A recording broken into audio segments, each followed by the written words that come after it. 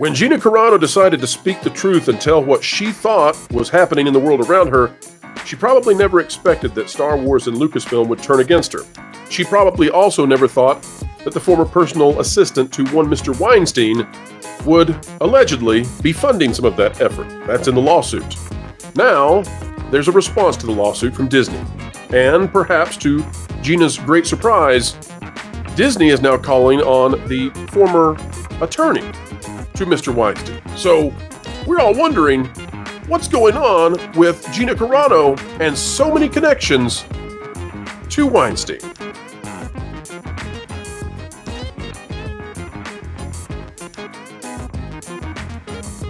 Hello, folks. Welcome back to another video of excellence here on the Pro Channel.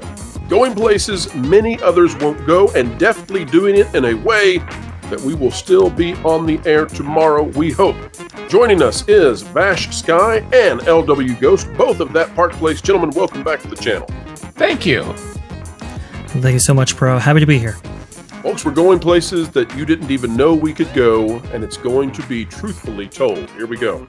All right, starting off with an article out of That Park Place, this by John F. Trent. The Walt Disney Company files to dismiss Gina Carano's lawsuit and argues the First Amendment provides a complete defense. All right, it says the Walt Disney Company filed a motion to dismiss the lawsuit brought by Gina Carano against the company and argued the First Amendment provides a complete defense against Carano's claims. Carano, with the help of Elon Musk and X, sued the Walt Disney Company at the beginning of February the lawsuit is a civil action arising from defendants' wrongful termination of Carano's employment in relation in retaliation, excuse me, for Carano's lawful exercise of her right to speak and express her views. Specifically, defendants under the regime of former Disney CEO Bob Chapek fired Carano because of her posts on various social media platforms, including X. Carano composed and published a post while she was off duty and away from the workplace. Goes on to talk about how Gina has been treated very unfairly in comparison to her co-workers people like Mark Hamill, Pedro Pascal, although it seems that Pedro Pascal is on board uh, with Gina and thinks she's been treated poorly. We don't know that. We're basing that off what Gina Carano has said. You can see the original post here. I guess back then it was still a tweet uh, where she was saying, hey, we don't want to go back to this. Don't hate your neighbors. Uh, that has been twisted and turned in every possible way. But uh, now, Vash, one of the things that is not out in the in the press, I guess, is something that you have been working on diligently. Folks, it's time for some exclusive info that you just might not hear anywhere else. Vash, you have done a tremendous job of preparing this. Please share with the audience out there in the most safe way possible uh, what is going on with connections to Weinstein aplenty. Uh, yeah, this is a story I've been uh, keeping track of for a while. And when the complaints came out against, or the, I should say Disney's response to Gina Carano was first unveiled today, it, uh, it, it reminded me of, of a particular attorney that's worked for them before that has levied um, similarly uh, malformed arguments, let's just say. I'll, I'll put it as kindly as possible. Didn't go so well and, in Florida, did it, Vash? It did not. So Daniel Petrocelli, that is the attorney uh, here, and Pro is exactly right here. If you remember that federal lawsuit that uh, Disney filed against uh, Ron DeSantis and others for uh, essentially doing away with the RCID and forming the CFTOD, well, that also, if you look at that legal filing right there, um, on the very last page, Pro Hac Vice, well, you'll see a familiar name that uh, we will note this video right here. Here it is Daniel Petrocelli. Um, people will also remember him, interestingly enough, as connected to Scarlett Johansson, of all places. So Disney lawyer Daniel Petrocelli calls, quote, Black Widow lawsuit, a quote, orchestrated PR campaign. So uh, he says right here, it is obvious that this is a highly orchestrated PR campaign to achieve an outcome that is not obtainable in the lawsuit. Petrocelli said, no amount of public pressure can change or obscure the explicit contractual commitments. The written contract is clear as a bell. So this is a guy who has. Uh, He's everywhere, been, Vash. He's everywhere with Disney. He, oh, much more than that. Disney. Much more than that. If you Where, go to his bio over on the O'Melveny e. Myers uh, uh, page where they're celebrating the fact that the Hollywood Reporter has put him on his their list of legal legends. Uh, let's, let's find was, out how he started being a legal legend. Well, he started not a out, league of legends, folks. A he started out legend. as the guy that sued on behalf of the father of Ron Goldman against O.J. Simpson, and then he de- he defended uh, CEO of Enron Jeffrey Skilling against fraud and insider trading charges. They got him on some, but he got him off of others. He defended Warner Brothers trying to maintain the Superman franchise, Disney for the Winnie the Pooh franchise Marvel for the rights of iconic Marvel characters. Uh, he's largely an intellectual property kind of guy, but he does other things too. And he says that he's always avoided the Hollywood lawyer moniker because I never wanted to be branded as such. I always wanted to be considered a lawyer and litigator of all types. Oh, and the thing well, that's, that's still on his bucket list is going to the U.S. Supreme Court, which he's never done. But he has he has uh, he has represented some rather scandalous individuals, some people who are in jail for a very long time for very bad things. Vash, tell us about it.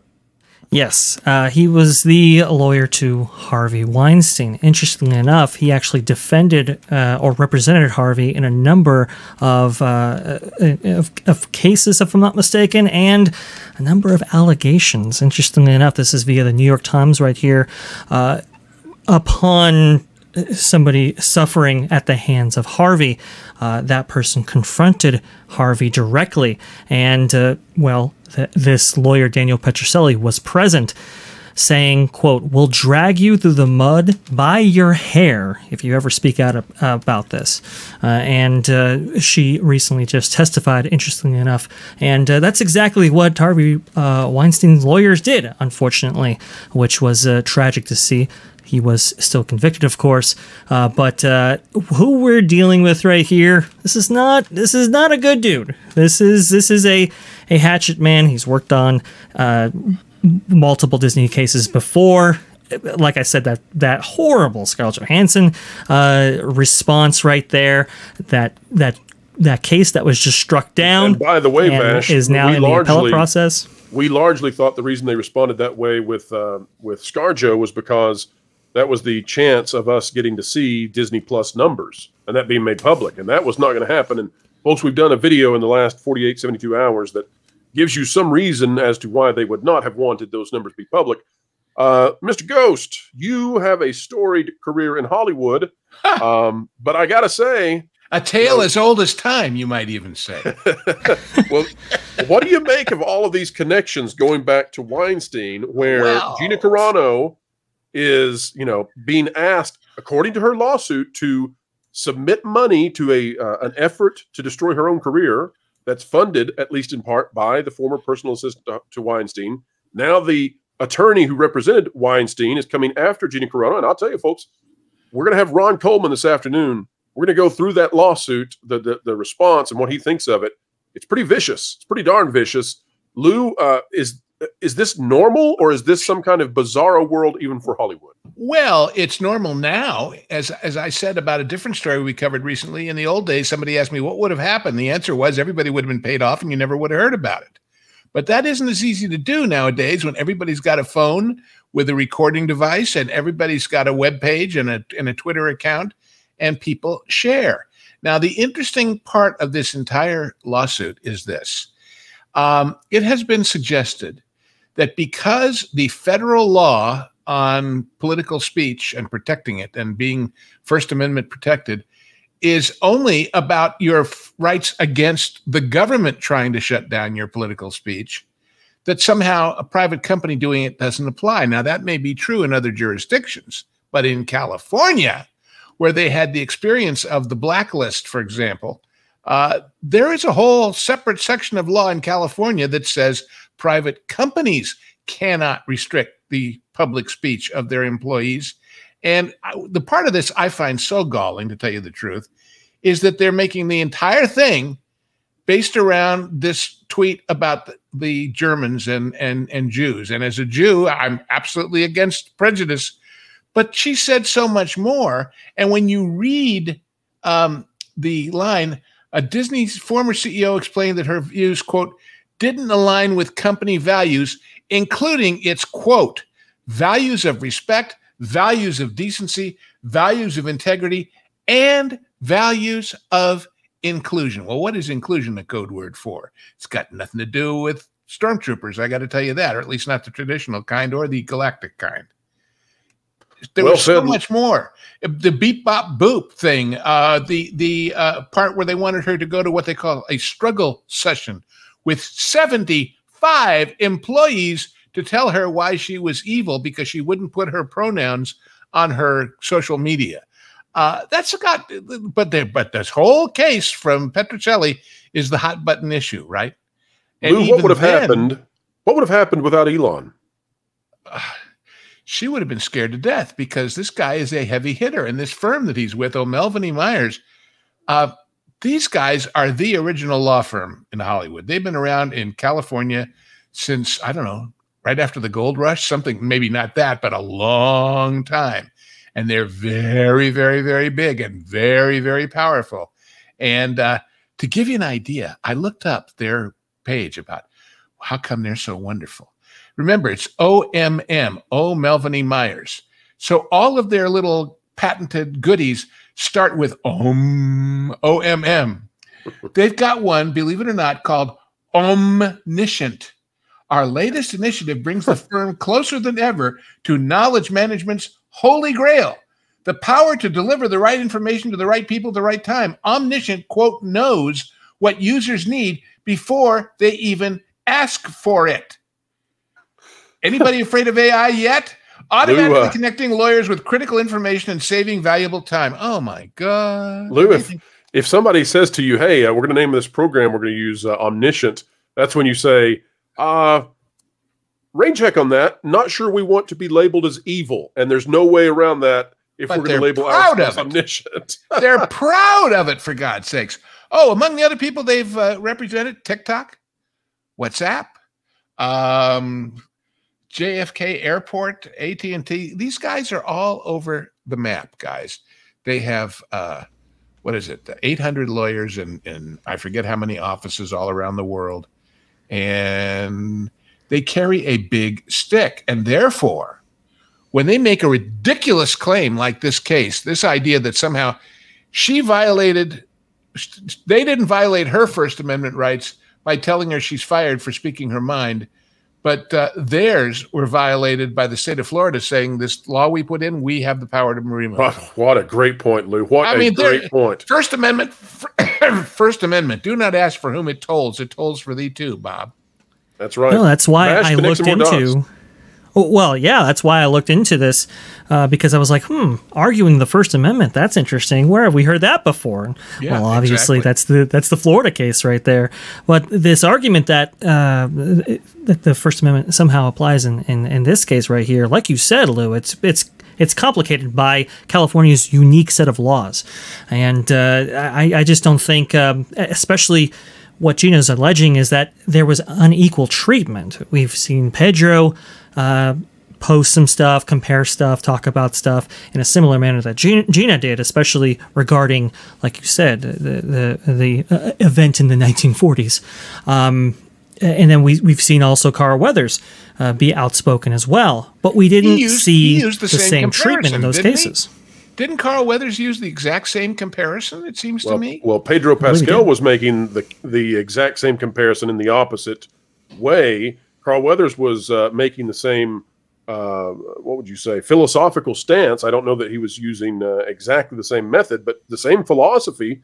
And so that's that's really what we're going to talk about with Ron Coleman later today. Is can you can you fire a woman for holding views, and a man holds the same views, and not fire him, and but you get to pick and choose and say, well, you know, uh, it's our First Amendment right to get rid of her, but not not him. Oh, and, and nobody and- knows what's going on. And more importantly, when you talk to Ron, can you can you segregate all of the various views she expressed and only mention the one that has the hot button N word Well, in it? And I don't one of the most the N word that insane ends in R. One of the most insane things, Lou, is that they claim that it's it's so different because she was responding to anonymous users on Twitter, and it's like Uh, pre Elon, everyone was anonymous because there was nobody outside of the verified blue checks. There was nobody who had their actual identities verified on Twitter. And oh, by the way, that's not to guarantee you that the person who is using that account is actually the same said person. So it's all it's just total nonsense. But will it will it get through in California? And, I don't and know. by the way, let us assume for a minute that for some strange reason this court goes, uh, I don't know what the lawyerly equivalent of you know what crap crazy goes and says, okay, you're right. Saying that about uh, uh, my people in ni- the 1940s, comparing it to now, that was a wrong thing. So therefore, we'll throw the entire case out, including all the other instances she's complaining about, because hey, what the heck, in for a penny, in for a pound. well, there's a I lot mean, of pressure. I don't think they There's lot can win this point. But there's so many other points in the suit that they've totally ignored and asked for the entire thing to be wiped out because of this. That's a bit of a stretch. But, But in again, this case, in this case, if you're a little guy and this 800 lawyer firm around the world goes after you this way, you say, "Oh my God! Even though I'm right, it'll cost me everything I ever hope to earn for the rest of my life to defend myself." And Yeah. let's remember, 90 percent. I mean, I haven't got an official statistic, but I'm guessing 90 percent of all lawsuits are not filed to go to court. They're filed to compel a settlement. Right. And and Lou, there's tremendous pressure, I would say, in California for this not to go forward. I don't know if that will be successful, but this this is going to open an entire can of worms in terms of, you know, what can you fire someone for on social media? So all you know, there's a trem- tremendous number of questions here that are going to be brought out, even though Well- I think Gina is clearly in the right. Uh, it's it's definitely going to set a precedent. One of the very much larger issues that doesn't get enough attention, I believe, is the fact that the day they fired her, her agent fired her too. Yes, Yeah. yes. We have heard all about how Favreau and others were telling her she was going to be a big deal and they were going to do this spinoff. And you're going out there, you're, you're a talented amateur now, but you're going to be a star. And she was all excited. They couldn't even talk to her about that without talking to her agent first under the rules of the game in Hollywood. So if they went to this agent and said, Hey, we want you to know we're about to dump her over this thing. And if you would like all the rest of your clients to receive, uh, shall we say, anti preferential treatment, you'll keep her. Otherwise, you'll walk away too and look like a good guy joining us. Right. Now, I have no proof that that ever happened, but it stinks to high heaven. And it has industry wide ramifications about the relationship, which SAG is very, very, very, very strict about between actors and their agents and what the agents can do and can't do, and how much agents are in bed with the employers rather than the employees. So that's a that's a huge, huge, huge issue all by itself in the biz. Absolutely fair. Um, the, Lou, uh, you know, with this case is very interesting because uh, it it obviously can have some big repercussions on not just Gina but the entire industry at large.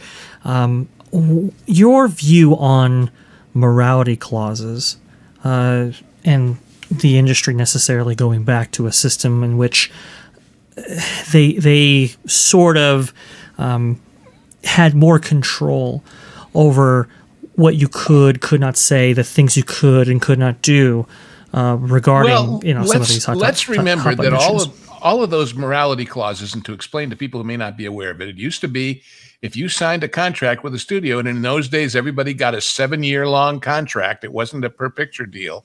Uh, Right. You agreed not to do anything that would reflect poorly on the studio, and more importantly, that would change your image to the public. The original instances of these were all about extramarital affairs and drugs.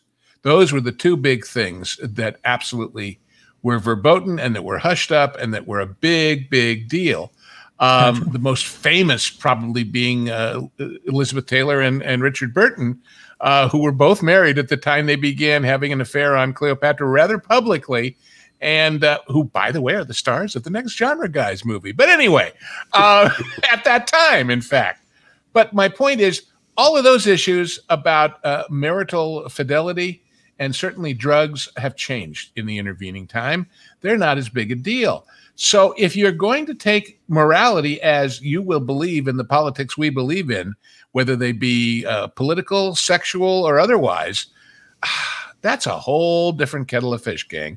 Plus, unlike features, no longer you have a long term contract unless it's a couple of picture deal. But something like this with a TV series, you still do. And that's still analogous to the old long term contracts. But again, you are responsible. So's the studio. It's we don't want you to do any of this stuff. And in return, we're going to make you a star. We're going to invest a lot of money in you. We're going to put money into your wardrobe and make sure you're seen in all the right nightclubs and all the right openings and premieres and get you coverage in all the fan magazines.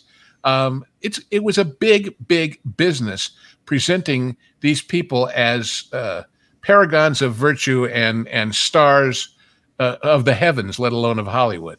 Now, well, well, it's not. It's a lot more every man for himself than it ever was in the old days. It just is. James Gunn's it wasn't necessarily inhibited by what he posted. Uh, Pedro Pascal, Carl Weathers, none of those guys are are you know that they're still working. Uh, for but on the other hand, studios, we still have no idea why Bo is no longer X Menning, do we? We do not. point. So so there's you know it's it's a very um, instance by instance kind of a judgment. And that's the other thing about this, uh, which it shows by these comparable stars in the same show she was doing, saying things that got them zero uh, uh, public, anyway, uh, reprobation from their employers. So, now, folks, as we get ready to wrap up, we just want to say that um, you know one of the things we're not intending to promote here on this channel is the idea that if an attorney takes a client that is unsavory, that that uh, that attorney is, you know, given the scarlet letter that they uh, that they are marked for the rest of their career. That's uh, fair. I, I, like what Alan Dershowitz has said in the past. You know, if you uh, if you're a physician and a bad person comes and needs a, uh, a heart heart surgery, you're a physician. You're a surgeon. You do the job, and you do it as well as you can on every person you possibly can. Same thing right. with attorneys.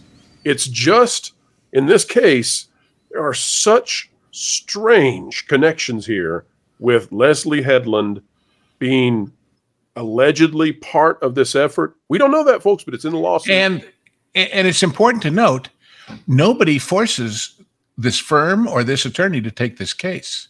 It's such a bizarre. It's who they choose and which way they choose to make it happen. And, and and again about Headland, she was a personal assistant to him. Well, in this case, where this lady who testified uh, said it. The personal assistant said, Don't worry, I'll be there with you and everything will be fine.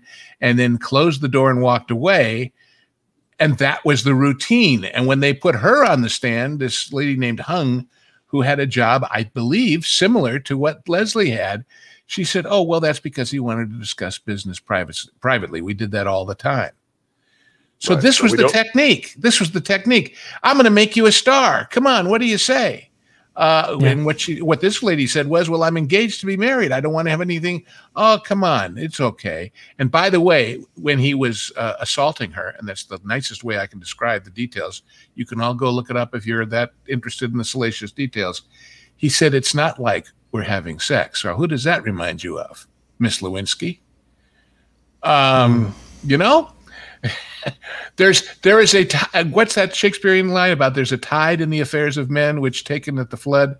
Well, there is. When you asked about morality, there is a this is moral for me and not for thee attitude that goes on here in these levels of high power, high money, uh, high profile. Because remember, uh, there are industries out there that have big bucks involved, but they're not on your television every night, and they're not on your uh, entertainment news show on the on the screen the attention factor of Hollywood, the fact that uh, not only as people interested for its own sake, but as a distraction perhaps from some of the really skullduggery stuff that goes on in industry and politics, is pretty mm. profound. It's pretty profound. Indeed, folks. We uh, we try to to uh, toe the line, be straight down the middle, call balls and strikes. Uh, we want to be objective and unbiased. In this case, though, I don't see any way other than just to say, "Go Gina, go." and uh, we'll do our best to tell the truth and hold the line. Right now, uh, the, the people up against Gina, I won't say a bad thing about them, and that means I won't say something at all. All right, folks, we've come to the end. It's your turn. We ask that you be polite and kind and responsible in the comments given the uh, subject matter. But like, share, and subscribe. Click it, stick it to the algorithms, hit the notification bell. Vash Sky will be on That Park Place live today talking about this very topic, as will Mr. Ghost.